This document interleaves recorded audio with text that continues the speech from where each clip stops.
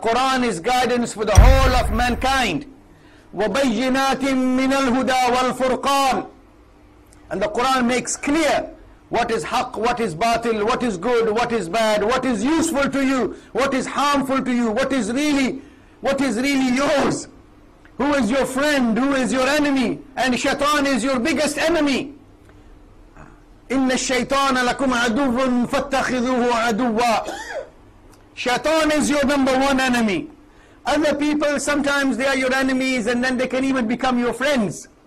Sometimes even the best of the friends can become the worst of the enemies. And such friends are very dangerous because they know all about you. But shaitan, Allah says in the Quran, he is your main enemy. Uh, he is your main enemy. And your best friend, you know your best friend?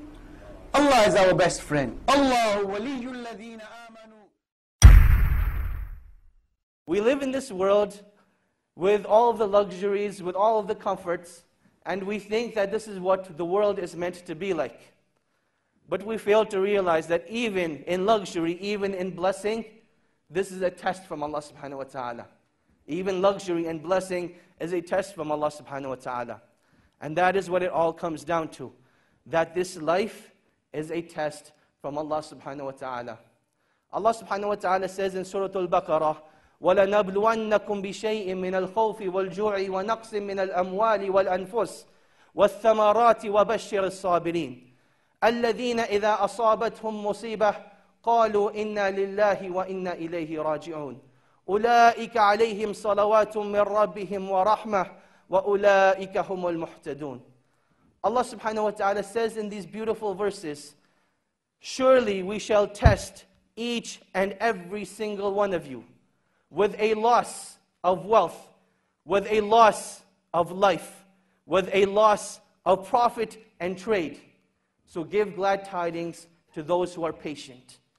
Those, when they are tested, they say, To Allah we belong, and to Him we shall return.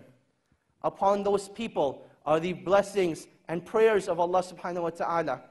And indeed, those are the ones who are truly guided. So Allah has revealed the Quran for the guidance and benefit of the whole of mankind. And then Allah began the Quran. Alhamdulillahi Rabbil Alameen. Be aware, be conscious, whatever happens in this world, all happens for with the will of Allah. Whatever good is, whatever good takes place, all the credit goes to Allah. قُلْ أَعُوذُ بِرَبِّ النَّاسِ And all the people of the world, Allah is the one who looks after them. And when you want anything, Rabbana, Rabbana, Rabbana, turn to your Lord and pray to Him, Ya Allah, you are the one who provides and gives. And you are the best of the givers. خير الراحمين, خير الرازقين, خير الحافظين, the best of the protectors, the best of the providers, the best of خير الناصرين, the best of the helpers. Throughout the Quran, Allah has mentioned the word Rabb. Ulama say no less than seven, eight hundred times. Seven, eight hundred times. And then as soon as people leave this world and they're put in their graves, you know what the first question is? Marabbuka, who is your Rabb?